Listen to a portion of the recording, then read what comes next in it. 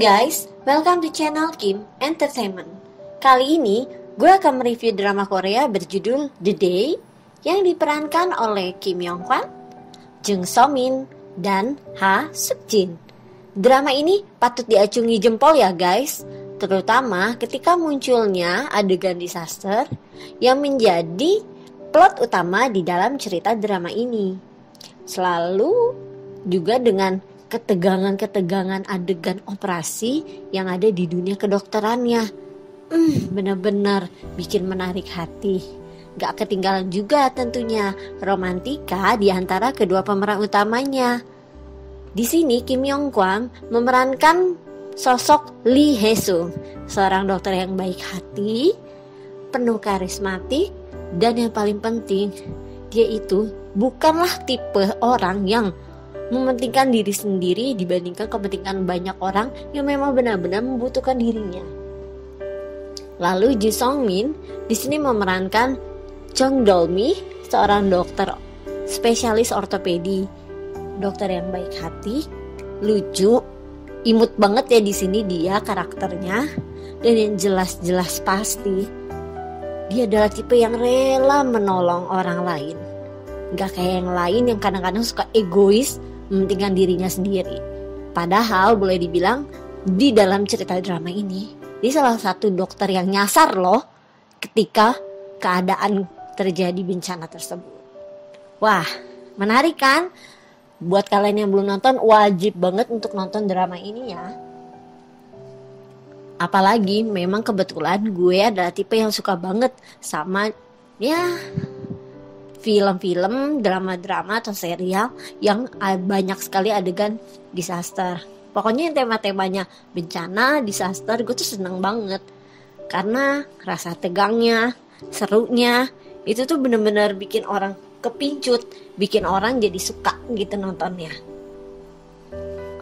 Di dalam drama ini gak cuma terus-terusan ketegangan kok yang ada, ada juga romansanya. Romance romansnya nggak ketinggalan bikin kita senyum-senyum sendiri. Sedihnya ada banget.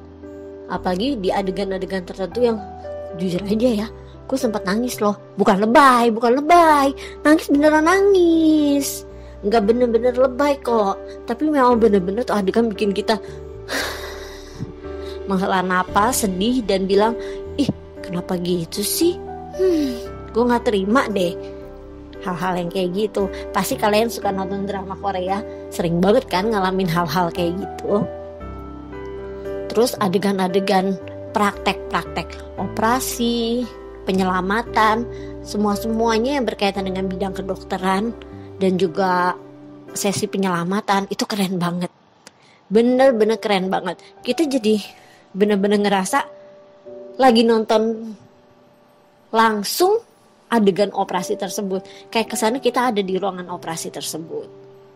Atau kadang kita ngerasa kayak kita ikutan masuk dalam tim penyelamatan itu. Keren banget deh.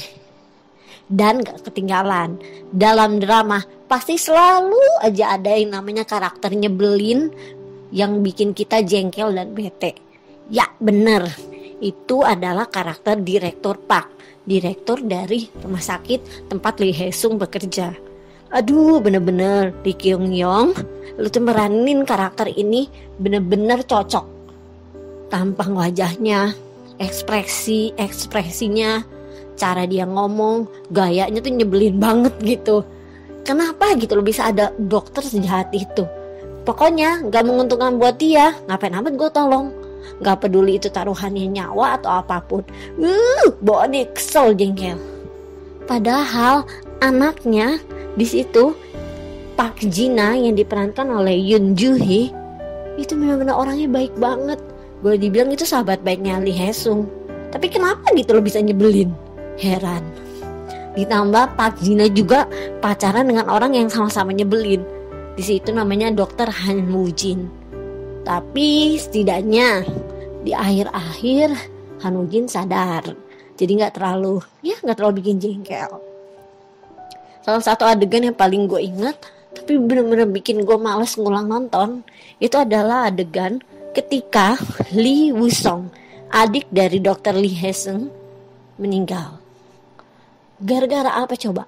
Dia menyelam ke istilahnya apa ya?